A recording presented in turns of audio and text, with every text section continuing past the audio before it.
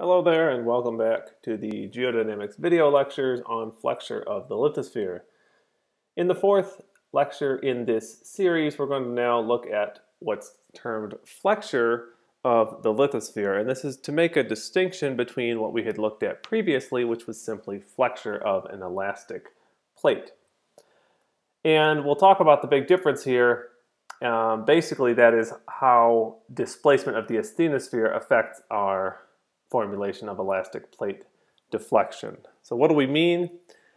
Well, if we look at the picture in the context of the Earth, we can think of a kind of simplified view of either an oceanic lithosphere or a continental lithosphere where we might have the free surface here, some thickness of water sitting atop the oceanic lithosphere, and then some oceanic lithosphere of thickness h sitting atop a fluid mantle with its own density the continental crust would be a similar scenario where we have just some thickness of continental crust atop the mantle lithosphere, and the mantle lithosphere has a thickness of H, and then it's sitting again on top of a fluid mantle or the asthenosphere.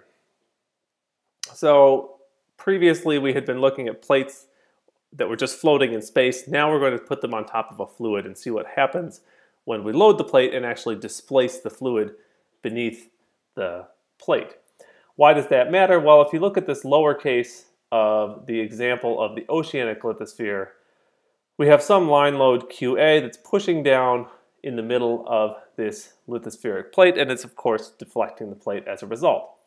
When you push that plate down though, everything that's beneath this dashed line is an area that has displaced the mantle or the asthenosphere because of the deflection of the lithosphere.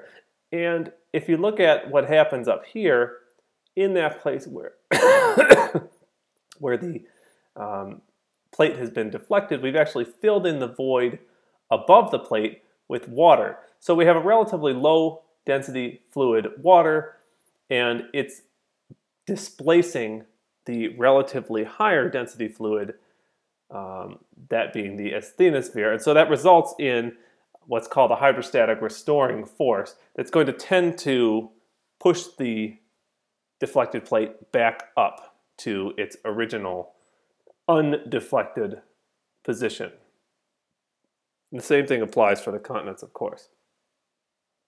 So if we look again at this picture in a little bit more detail, what we can do for our oceanic lithosphere case, again, now this is just shown on the left side, we have some load, a line load again, that's indicated as QA acting in the middle of this um, piece of the oceanic lithosphere, and you can see it's deflected by up to a maximum of uh, W here in the middle, and it varies along the length as we would expect. If we took a column of the weight of the material from the position where the maximum deflection has occurred, what we would see is that we have um, the density of water times the acceleration due to gravity times the thickness of this water above the lithosphere in this case. So that's going to be HW, which was the height or thickness of the water originally, plus the deflection. So that takes us down to this point where we're sitting on top of the lithosphere. And then plus the density of the mantle times G times H. And H is the thickness of the plate in this case. The density of the mantle is used here, of course, because this is the mantle lithosphere that we're in. So we should use the mantle density. So all of our terms are basically defined there.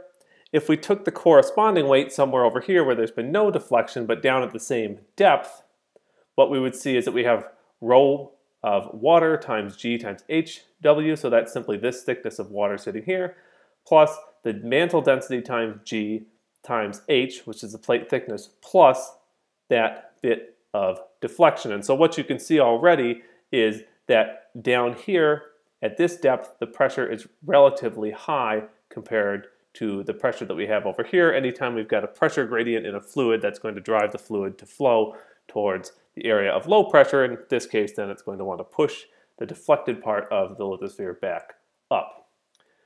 We can say basically the same thing here by doing this force uh, calculation. So here we've just basically put together the different terms from the previous slide. So here's our um, rho g hw, so that's the thickness of water in the undeflected case, plus rho m times g times h plus w. So this is our undeflected piece over here, down at the thickness where, um, or down at the position where there's been no deflection. And then we subtract from that the weight of the column in the middle, and uh, that's where we have deflection. We filled in the void with ocean water, and you can see the difference you come out with there basically comes down to mantle density minus the density of water times g times the deflection. Okay, so that's relatively simple. And so effectively then what we can do is we can modify our load because in the middle now the load that's acting is actually QA that's applied minus this restoring force. Okay, so then that's going to apply um, as well along the length of this plate. So we're going to modify our relationship before um, that we had for the plate deflection, which was the flexural rigidity times the fourth derivative of the deflection with respect to x, plus p, that was the longitudinal force times the second derivative of deflection with respect to x. Now we're adding this extra term in here where we have our density difference times g times the deflection is equal to the line load Q of A. Or in this case, Q of A actually could vary along the length. It doesn't necessarily need to be a line load. It could be any load acting along the top of the um, elastic plate. You could do exactly the same thing for continental lithosphere, and the only difference is going to be that your density difference calculation is going to contain rho m minus rho c, the density of continental crust, instead of the density of, um, of water. Otherwise, this is exactly the same as the previous um, slide. All right, so now we're in a position where we've calculated how an elastic plate will be deflected by various loads, and we've accounted for the fact that by pushing the asthenosphere away from where this plate is being deflected, we're going to have a force that's going to be generated that's basically trying to restore that deflection. And we're going to take a look at uh, an example from Hawaii, and we'll look in detail actually in the next, uh, in the final um, video lecture, but here we're just going to kind of get the preview of what we will be looking at. As you have probably seen already several times now, this is a simple kind of cross-sectional view of uh, Oahu, and so you can see the bathymetry along the ocean floor coming up to the island of Oahu and then dropping back down. This is the volcanic edifice of that island. We know that acts as a load in the middle of the oceanic lithosphere, deflecting it downward, so we can use um, some of our equations that apply for the case of a load with um, in the oceanic lithosphere. Now, when we look at that, we have basically two different options, and so that's what we're going to look at in the next lecture. Um, the two ways that we could model this deflection, then they're slightly different and kind of have slightly different geological um, implications, but we're going to basically be treating this load of the volcanic edifice as a line load acting um, on the lithosphere. And we're going to assume that the, um, the sort of load along the top of the plate is zero and that the um, loading along the longitudinal axis is also zero. So in that case, we can then simplify our equation to look something like this, and that's what we'll go on to solve in the um, following lecture. So just to make note of it here, um, you can see still we have our flexural rigidity times the fourth derivative of the, uh, with respect to the x-axis. The term that drops out is that longitudinal load term that has a p um, times the second derivative of the uh, displacement along the x-axis. And then you can see in here our dif density difference between the mantle and water.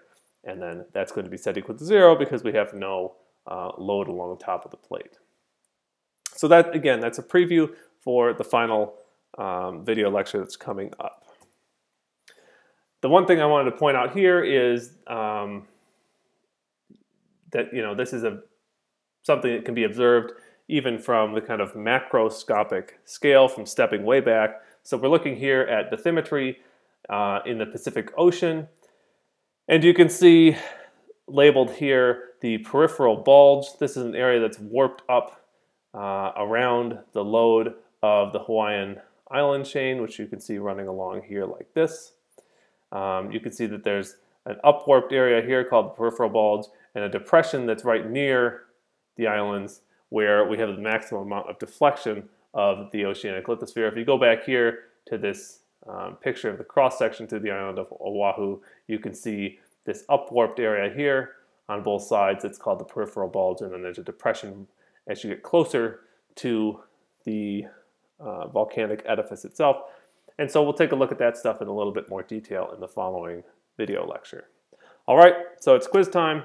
Go ahead and take your quiz, and um, I'll see you for the final lecture on the flexure of the lithosphere, where we look at the case of flexure near the islands of Hawaii.